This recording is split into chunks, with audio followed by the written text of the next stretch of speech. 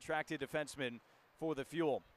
Malone will bump it back down into the cyclone zone as Indy tries to get a change out there. Smereck tape to tape, Panwar right down the gut. Sahil over the line, to Andrusiak, far dot, wrist shot, score!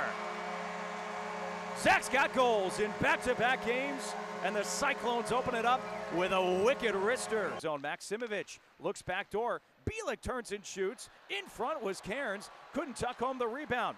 Andrusiak will deflect it out. Ferraro has Polino in front. Mike Ferraro left dot. Wrist shot. Score!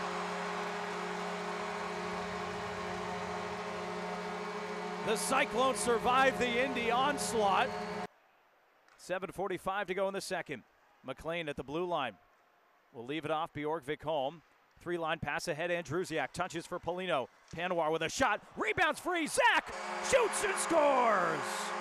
Andrusiak, Johnny on the spot. And this top line is buzzing with Panwar back in action. Cyclones looking to clear at the point. A shot from the blue line. Drops in front. A shot they score. Andrew Bellant pots it in past Rylan Parenteau.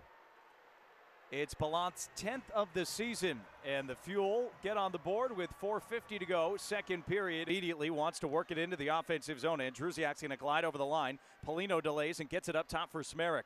Andrusiak at the near dot. Jalen, far side, Panwar walks in, snipes it home. How's that for timing? 14 seconds in. Sahil Panwar goes upstairs on the four on three power play making smart plays, though they turn it over behind the net. Lemos, right point, Centerame at the dot. Left for Brian Lemos straight away. Wrist shot, pad save. Oh, Parenteau got it with the right pillow as well. Excellent combination. He stretches out like the scorpion and makes a stop.